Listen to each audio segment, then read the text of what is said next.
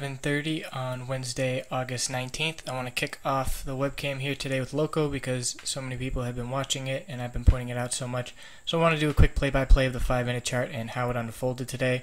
Saw the big oversold sell-off. 2 days ago I had Loco on the bounce watch list as it was forming some signs, but the past 2 days there was a big dump. So the oversold conditions, the RSI down here was at 5, which is incredibly low. So this right here, I started watching for the bounce, saw the bounce right here get up to a high of 1339 and then it pulled back and tested the double bottom 1322 support. So after that double bottom test, we came up and broke that 1339 high and that was the signal to get in on the bull side in my opinion with the increased volume. We then hit the 20 period moving average resistance, knocked back, set a higher low. The low here is 1331 and then we're able to turn the 20 period moving average resistance into support we now have nice in the chat room. We now have a high here of 1349 and we saw a bid at, big ask at 1349 so that's current resistance. If we see this 20 period moving average resist support curling up start to drive the price up as well, a break of 1349 is going to be very bullish. Uh, so far this trade's looking good. We still have lower highs and higher lows so we're consolidating in that range. The rubber band effect is about to play out in the near future. Volume is decreasing. Keep your eye on the volume. So that's what we got for Loco. Still looking good. I'll check in with some other plays. Let's look at the overall markets of SPY. Just an absolute downtrend all day. The signal that the bears were in town at live pre-market analysis, I pointed out we were going to open below the support band at 209.24 to 209.50 and that is now a resistance band and we didn't even come close to testing it as resistance. It has just been bigger low after bigger low and we are looking like let me pull up the daily chart for SPY.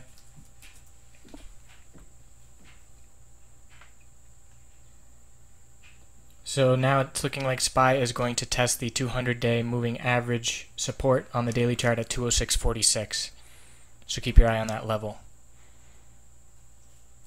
Let's look at some of the common names here. Tesla.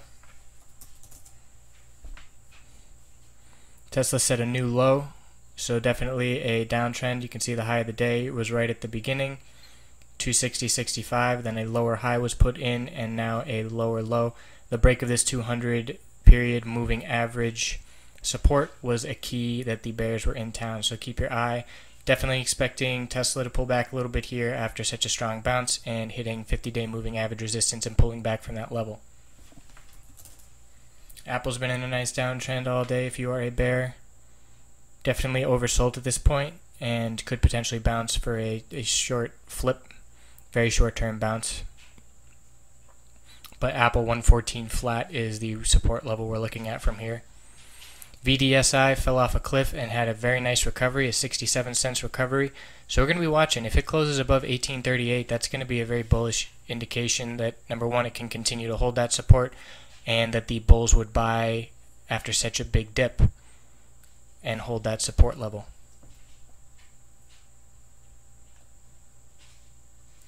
RYAM for ER. I was just looking at it before I went live. I'm not liking this big volume here on this candle the low is 622. It did get down to 624. Definitely worth watching, but this big volume on a red candlestick was not a great sign. So we'll have to keep watching.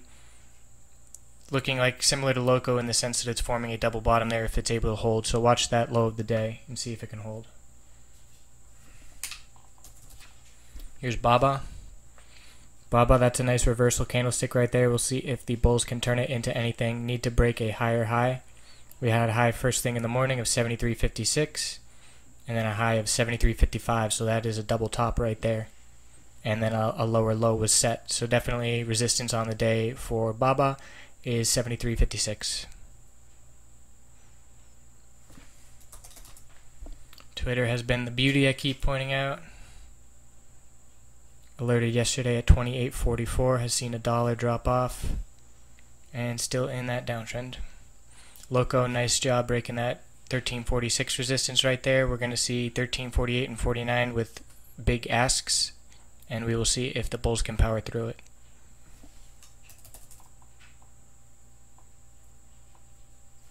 T-Buzz, do you mean my analysis of Apple or a, an entry into a trade? Because I can go over quickly again. Watching Loco here, chipping away at the ask. 3D Systems is going to be on Watch. Um, just absolutely killed. 3D 3D bubble popped, and it was very interesting to watch that bubble pop because I'm young enough to not have seen many bubbles, and 3D printing was just an absolute bubble. Just like the couple year chart of DDD. Also, VJet is another one. I played the IPO of VJet and it was free, easy money because it was during the hype of 3D printing and it has since fallen off a cliff as well. So, Facebook, very strong day and then fell apart. That's very interesting. Able to maintain the low of the day, so that's still support at 94.41. We had a low here of 94.43, so just above that. That's a very, key level to watch going forward. I expect Facebook to bounce and hit this 100 period moving average resistance and probably get rejected, but that remains to be seen. That level is 94.92 resistance. Well, ER, you should be getting ready for a shopping spree then if you're trying to go long 3D printing. Not saying it's a good or bad decision, just saying things are really cheap.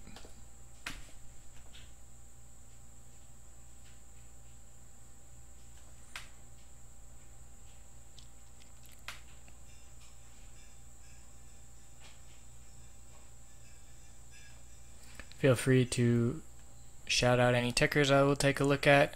Otherwise, we're just going to keep our eye on Loco. Right now, SUNE is support at 1350. We're doing all the psychological levels. It appears to be 1550 was resistance, 1450 was support yesterday, 14 flat was support that failed, and now 1350 is support. So it's looking like we're doing 50 cent jumps here. Pretty lucrative trading stock with all these swings. Let's see what UGAZ is doing, hiding behind my chart. Oh man, UWTI is at 95 cents, down another 11%. That is one oversold stock. Oil is getting absolutely killed. UGAZ is still floating pretty insignificantly. Man, penny stock for UWTI. Amazon for Barb. See a double top here. High of 533 and a high of 532.98 so within 2 cents definitely a double top there. And currently a double bottom. So this is a very very defined range. This is when drawing on your chart comes in handy. Throw a resistance line there and throw a support line right there. And that's that's the channel right there. And when it breaks to one side or the other you will know the short-term direction of the stock. UWTI is uh, an ETF it's actually an ETN excuse me three times for crude oil. So that means when oil makes a 1% move UWTI sees a 3% move. It's uh, it's meant for trading because there is time decay with ETNs if you hold them long I would never suggest holding it long.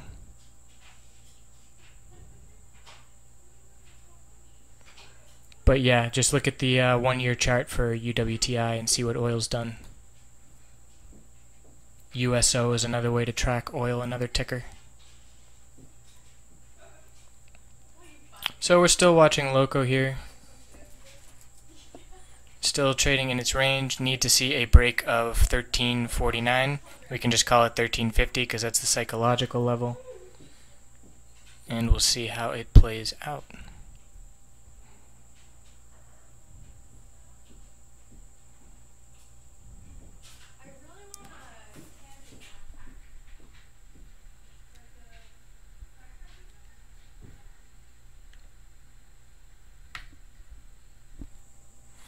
We have the 20 period moving average support curling up here at 1339, so we'll see if that can drive the stock up through the resistance level. You'd say that, you'd think a, a low trading stock must be near support, but so many times it can just get, oh, is that a new low? Yeah, I'm staying away from where I am.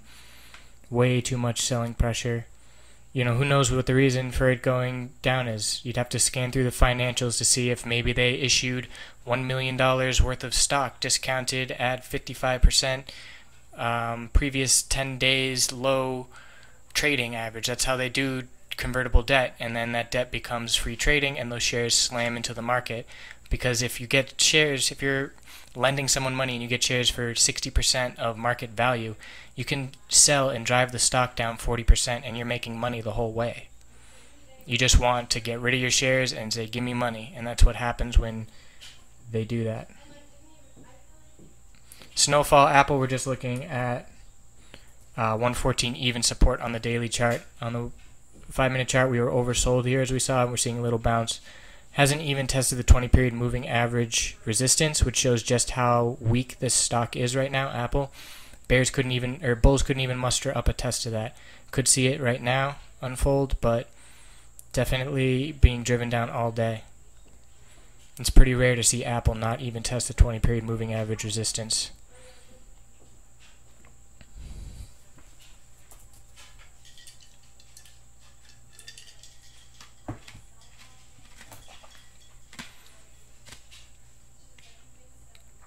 Here's Loco seeing a little bit of resistance again.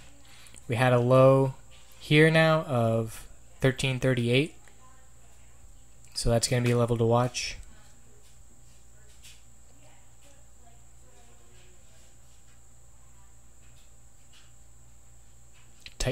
Range and decreasing volume.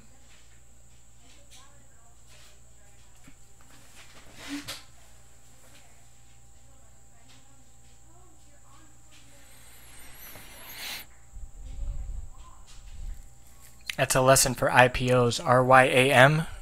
It was a $36 stock either a year or two ago. I forget what time frame I looked at on the chart, and now it's a $6 stock. So all the underwriters and all the banks sold all their shares that they got for whatever 30 something dollars and just made a killing while Main Street people like you and me bought into the stock trying to go long and just lost our hats. Not me specifically, but you know what I mean. Nice support hold right there for Loco. It was looking a little bleak.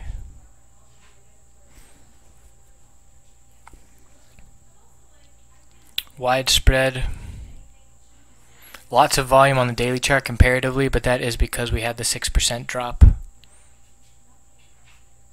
So you definitely want to decipher when you're looking at any kind of chart whether the spike in volume is bearish or bullish volume.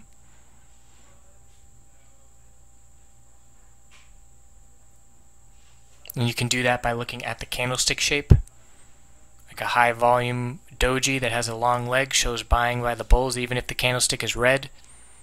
Compared to the previous candlestick, that long leg can signal buying on the bull side. SUNE keeps going down 1343 now. We're definitely going to see a $13 test uh, tomorrow or today if it really gets oversold, but that would be pushing it. CLF getting rejected 2 cents less than the 50 day moving average resistance I pointed out on the daily chart. That was a nice 23 cent drop.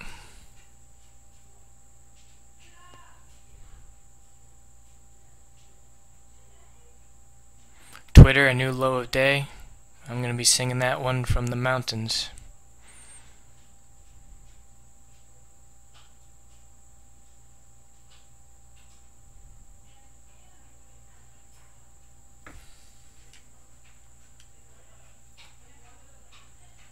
Twitter 52 we closed 2687 is definitely going to come and test that area at least 27 flat.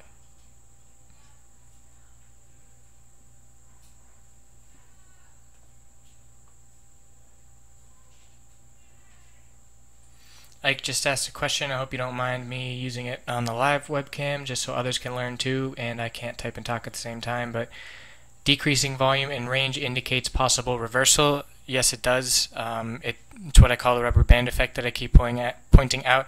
Decreasing volume and range with lower highs and higher lows. You eventually see a break of that pattern and usually a quick move in one direction or the other, whichever way it breaks. As traders like us jump on that opportunity. So right now we have a rubber band effect with Loco, decreasing volume. The high here was 1354, high here was 1349 and high here was 1348. So If we see a break of 1349, it's going to be a break to the upside. The low, the lows here, we have a low of 1322, a low of 1331, and a low of 1338. So if we see a break of 1338 to the downside, that will be a break in the lower, higher lows uptrend.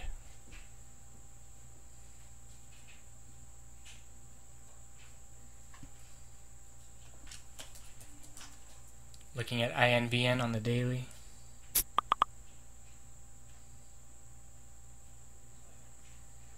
Oversold stock, definitely looking for a bounce there, but gonna have to wait for the candlesticks that indicate a bounce is coming. And right now there aren't any. Almost saw it on the August 13th, but did not see the confirmation candlestick.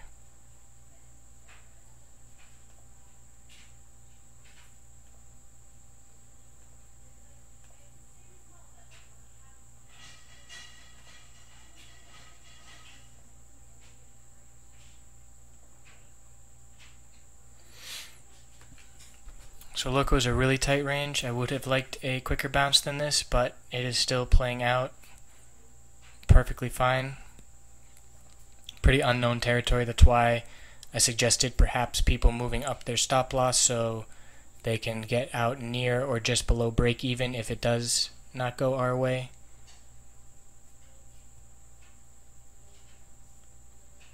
We have the 20 period moving average support now at 1339.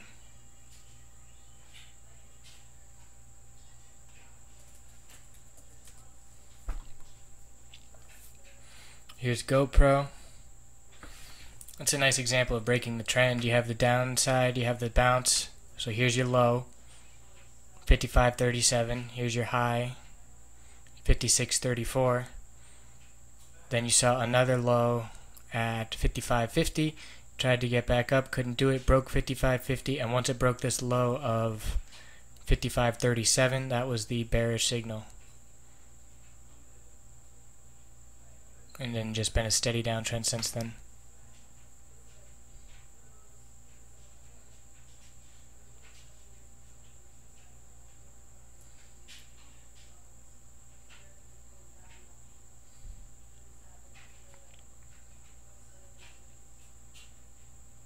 I'm gonna stay live another three minutes here. Maybe we'll see some GoPro action by or some Loco action by then. Still looking fine, trying to find its range. Standoff between the Bulls and the Bears for sure. Not sure who would be wanting to take a short position after 5% down day and a red big red day yesterday as well, but you never know.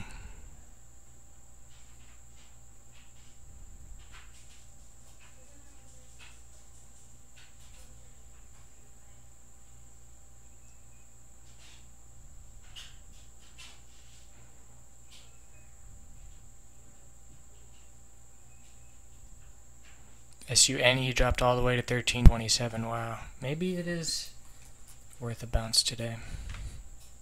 RSI is at 20, oversold. I pull up the daily chart here. Maybe we can find some support that I overlooked. But I doubt it.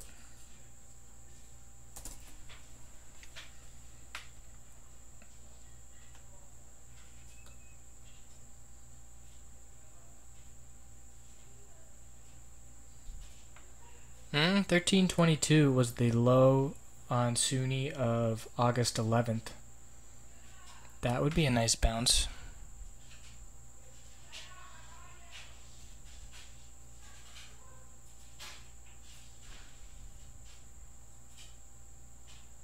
Seeing a bullish reversal candlestick here on increased volume.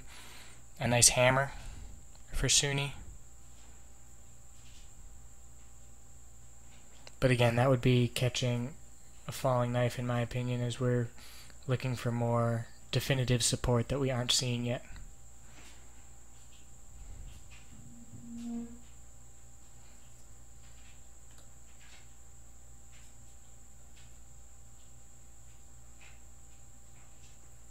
Good point, copywriter. What time does the Fed minutes come out? Is that 2 p.m. Eastern? UGAZ is Um, not be not a big mover at all. I'm watching the hourly natural gas chart, and still looks fine. Still setting higher lows and two higher highs. So that's one that you want to just put a stop loss at. I think I suggested 179 maybe this morning. I just posted a link to the natural gas chart that I'm watching.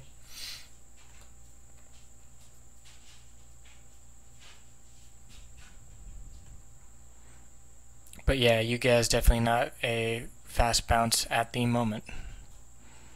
Okay, so Loco's going a little bearish here. Let's see.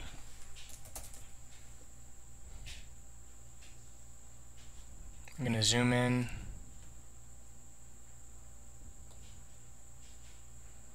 Twenty period moving average support is 1340, which it is currently below. The low was 1338 right now which is still holding this previous low of 1338. But I am watching the 1331 mark. If it breaks below that, then it will be a break in the trend.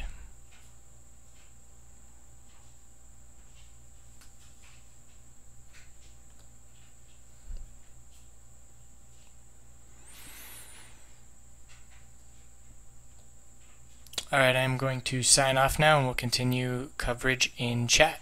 Keep your eye on Loco 1330.